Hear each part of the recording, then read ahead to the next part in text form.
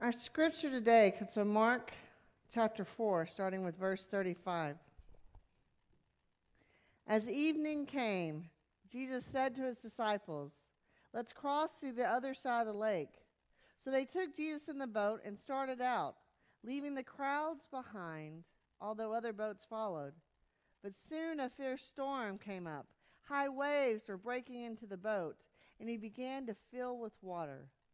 Jesus was sleeping at the back of the boat with his head on a cushion. The disciples woke him up, shouting, Teacher, don't you care that we're going to drown?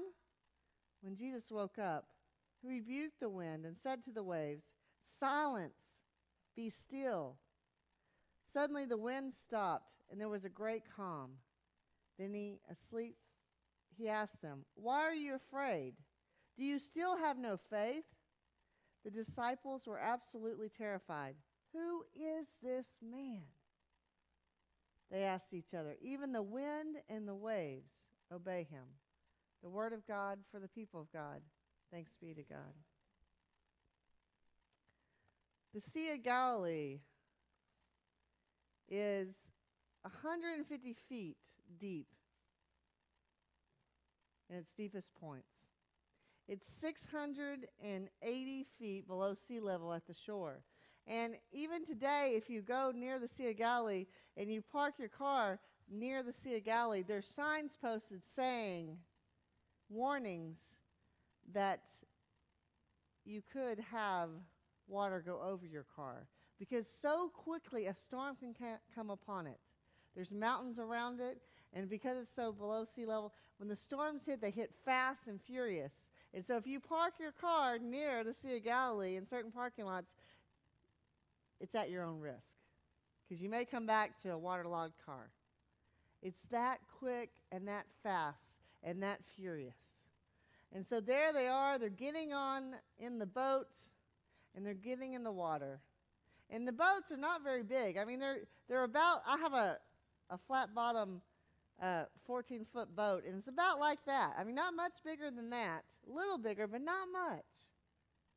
And I can't imagine getting, being out in a storm in that boat. There's just twice I've been out in that boat when the winds have come up, and I was in Lake Palestine, uh, and it's near Tyler, Texas, and and I was had gone a little farther than I probably should have in a small boat in a very big lake, but the fishing was really good. So hey, you go where the fish are, right?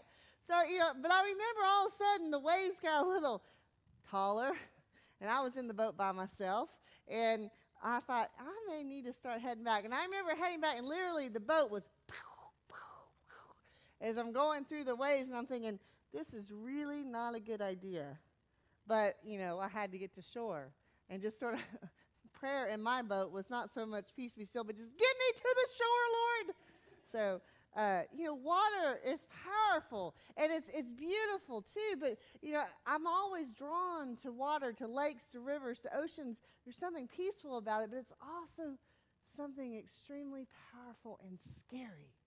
I mean, water, the currents, the, the rip tides, the different things that can come into play, and all of a sudden you totally lose control when you thought you had control. It's scary. It can be. And here things were calm, everything was peaceful. They get in the boat, it's nighttime, all is good, and all of a sudden, these waves start crashing in, and water starts filling in the boat. And just so you know, water filling in a boat is not a good thing, it's a very scary thing. And yet, here is Jesus. And I love how the Gospel of Mark tells the story. The detail he adds. Not only was Jesus in the boat, but Jesus was asleep in the boat with his head on a cushion, with his head on a pillow, sound asleep. I mean, Jesus had been preaching. He'd, he'd been doing all, the, all his ministry stuff. He was hard at work all the time. And don't you know, when he got in that boat, he was physically tired. He was human. And he had the same tiredness that we do. So he's physically tired, and he laid his head on a pillow, sound asleep. You know that sleep when you've worked all day and you've worked really, really hard? And I mean, you know, you can barely move and you walk in the door, and as soon as your head hits the pillow, you know that you know what I'm talking about. Boom, you're out. You're so tired. And it doesn't matter who's yelling your name, it doesn't matter what what's happening. You don't even hear it because you're just you're man, you're in a deep sleep. I imagine that's where Jesus was. And the waves are crashing in and hitting, and it's scary. It's fearful. The disciples are getting worried, they're getting stressed out. And isn't that what happens with us? When storms of life come our way, don't we get fearful? Don't we get stressed out? Don't we get worried? We're used to not like, oh, let me just chill out here, my head on the pillow. We're like, ah! You know, or we're calling people, we're like, oh my gosh. And, you know, we sort of freak out. Whether we freak out literally outwardly or we just freak out inside and just completely are overwhelmed with that storm that's going on inside of us and outside of us. That's where the disciples were. They weren't sure what was going to happen. And here Jesus is in the boat and he's all like, pieced out. What's that about? I mean, don't you know when you're stressed out, don't you want everybody else to be stressed out with you? You don't want everybody being calm. I mean, man, does he not know what's going on? And they wake him up. Jesus, don't you care about us? It's not, Jesus, can you help us? Jesus, can you, you know, fix things? Jesus, we trust you we know you can take care of this. Don't you even care? I mean, they're like incensed that Jesus is like all pieced out, all calm. Have you ever felt like that? When your life seems to be falling apart and you're like, man, don't you even care? I know those moments when it feels like, not that it is, but it feels like God doesn't even care because you, you, maybe you're not hearing from God, or maybe you're just not sensing God, and all of your world is falling apart, and you're like, Where are you, Lord? Where are you? Don't you care? But Jesus did care. And as they woke him up, he said, Peace, be still. And it was. It was. The water was still, silent. And I don't know if you've ever been out on a boat when the water is just crystal, I mean, just glass. It's so beautiful. And like there's no ripples. It's just and that's what I imagine in my head and my visual mind is just that crystal glass that all of a sudden happened just from those words that Jesus spoke. And you would think that would have given the disciples peace, right? But then they're more freaked out because they're like, this says they're terrified because they're like, oh my gosh, who is this dude? That's Christi paraphrase. Who is this guy in, a, in the boat? That even the storms listen to him that nature actually listened to what he says, and they, it doesn't. Don't you know they were? It was just dawning on them. Boy, this is really God.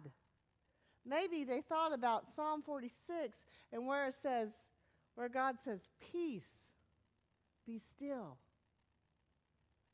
I am God." Peace be still. I am God. Maybe they were thinking about that as they heard those words, and those words echoed in their hearts and minds. Or maybe they were thinking about when Moses came up to the Red Sea and the army of Egypt was behind him, and how God parted the Red Sea, and they were able to walk through on dry ground. How God had power over all things as Jesus said, Peace, be still. They were just starting to really realize who Jesus really was. They had already decided to follow him, they were his disciples, the 12. but they didn't really know what they totally signed up for when they started following. They still were learning each and every day of Jesus' ministry who Jesus was, what he was all about. And isn't that how we are? I mean, did you really know who God was when you signed up to follow God?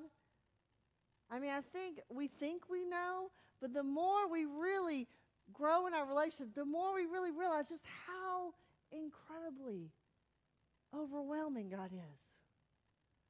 Just how beyond our comprehension and understanding, just how deep His love is, how wide, how incredible His grace and mercy is. It's so beyond our human understanding. The disciples were just starting to get who Jesus was.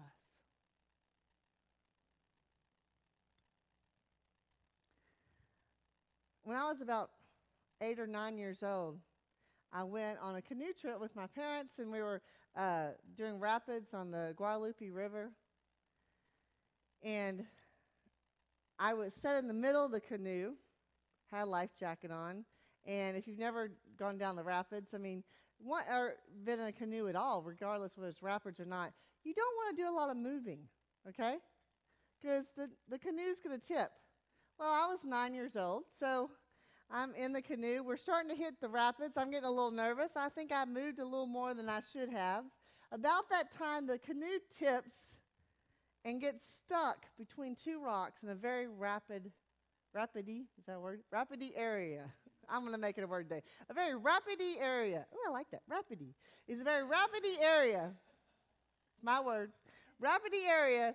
And I was stuck on under the boat, partly because my hands were clenched onto the sides for dear life. I was so scared and fearful. I was stuck under the boat. There was a little bit of air pocket, but the, the water's hitting me, and I'm, I do have a life jacket on, and I'm feeling my, my daddy trying to pull me up, and he can't because I'm gripped. I'm not going to let go of that canoe.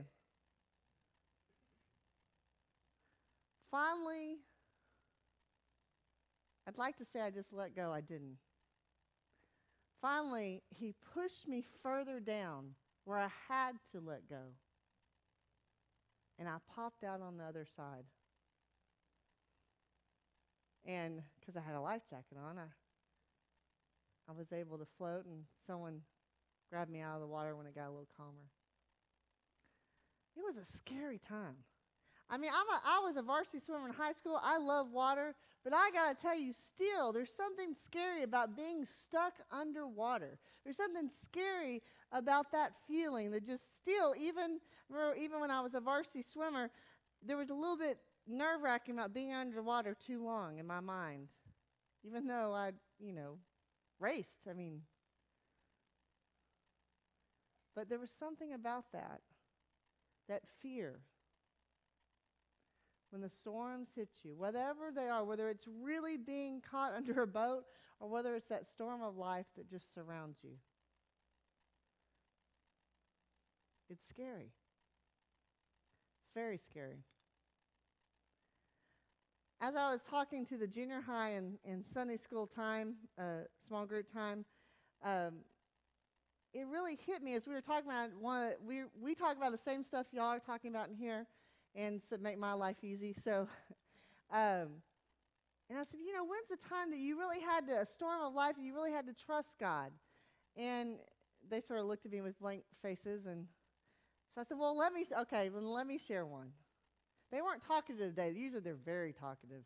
Uh, and I, it hit me, and I just realized I didn't share this with the nine o'clock because I didn't wasn't thinking about it.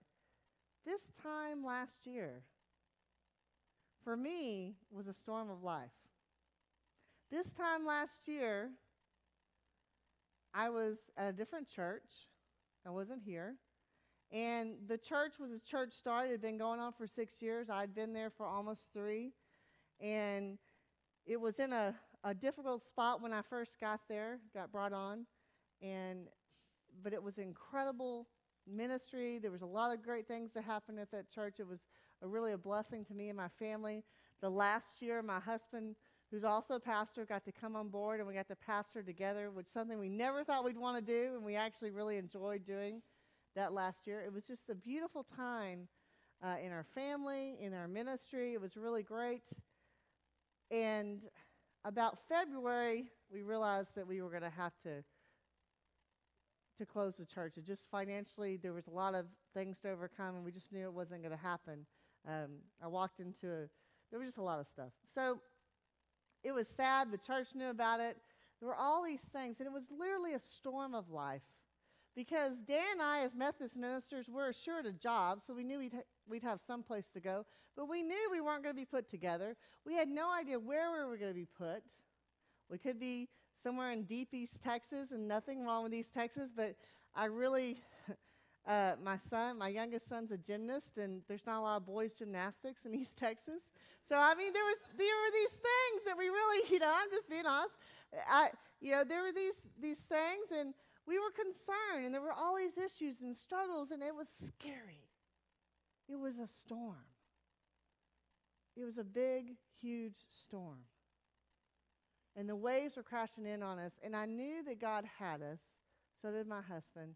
But it's scary when you're in the midst of a storm. And I know this church was in the midst of a storm. Those of you that were here last year, I mean, there was a lot of storms going on around here too. The wind was blowing and the waters were crashing in. I mean, all of us understand what it means to be in the midst of a storm. It's scary. And it's so easy to get caught and to be fearful. And we can do a couple of different things. One, we can just get totally distraught and fearful and get stuck in that mode. Another thing we can do is we can just avoid it. And some people did. Some people left and just said, I, my hands, I put my hands up. I don't want to deal with this. This is too difficult. This is too hard. This hurts too much. It's, you know, this is too, di- too much.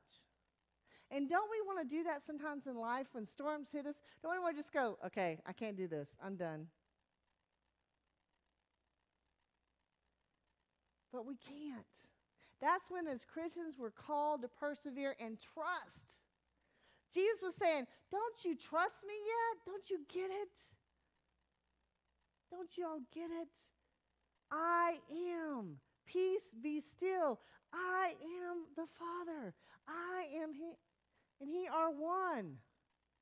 When you trust in me, I can provide peace and calmness in the midst of the storm. Now, the storm doesn't always go away. You know, in this story, which is a true story, you know, immediately the water's calm. Sometimes that happens. But sometimes we have to ride it out. But we have to trust in the midst of that. We have to trust that God is God and He is all powerful and He is working out the details, especially when we have no clue how that's going to happen. I know for me, it was so scary, especially mostly for my children. I wasn't sure what, what school systems they were going to be in, and it's always hard to move. And, you know, as a parent, you always feel, you know, um, the responsibility of that.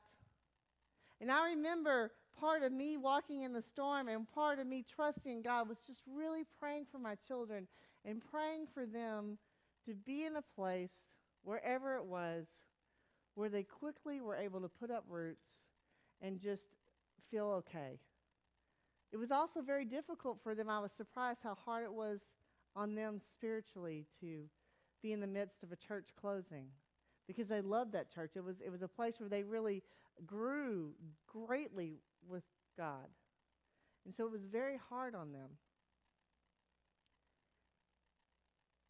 It's hard in the times and the storms of life. I remember as I was in that under that canoe, and it's funny how you remember certain things in your childhood so vividly. I mean, I probably was only under there for probably 20 seconds, but it felt like four or five minutes. I mean, I remember just, just. I mean, I, my hand, my knuckles were white. I was grabbing so hard on that canoe, holding so firmly, knowing that if I let go, I was going to die.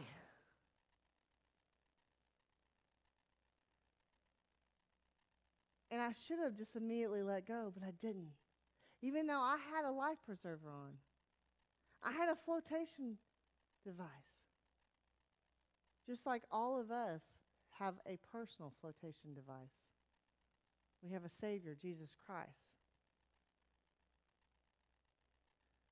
And it took my daddy. Now, he was my earthly daddy. But this could work another way, couldn't it? Took my daddy pushing me farther under so that I would let go and come up on the other side. Sometimes our heavenly daddy has to push us under a little further so we will let go and trust him. Because he knows we will come up on the other side and pop up. We may not always know how it's going to happen. We may not always see all the details he's working out. But trust we must that he is God and he will do it. But so many times we act like we are practical atheists. Like we really don't believe. What I mean by that is we really don't, we, we say we believe in God, but we really don't, our actions don't show that we really believe in God, in our practical life, that we really don't trust Him to really work out the details. We really don't trust Him to calm the storms of life. And He's just saying, let go. Stop holding on. Let go and trust me.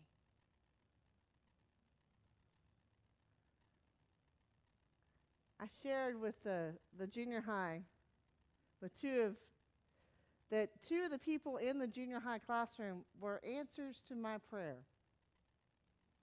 They all looked at me very crazily eyed, like, what? The parsonage just happens to be on the same street as the Charbonnets, and my administrative assistant, Valencia, who's she's like, uh, what? You're gonna talk about? She has two children. I had two children, and immediately after moving in, they connected and began a friendship. A friendship that helped my kids to feel immediately accepted. And when you move in the summertime and you don't know anybody, that's really hard on a child. And all of a sudden, they had friends, immediate friends. It was answered to prayer. Now, did the Charbonnet children know at that time they were answered to prayer? They even know that they were answering my prayer request to God, that they were part of Him bringing peace and stillness to my household? No way. See, so many times we don't even realize when God is using us to bring peace and stillness to other people's lives. I know there are many of you that brought peace and stillness to each other's lives last year. You may not have even been aware of it. God uses us to bring the calmness in each other's lives. He uses us to work together as the body of Christ so that all of us together can persevere through the storms of life. There's something incredible about how God says, Peace, be still, and it happens. We don't always know how and why. We don't always see how we play a part and others play a part, but let me tell you, it happens. I have never, ever felt as quickly connected to a church and to a, a area as I do here. I mean, I feel like I've been here years. It's not even been a year yet. I feel so blessed that you all have brought calmness and peace to my lives. Now, it's not always calm.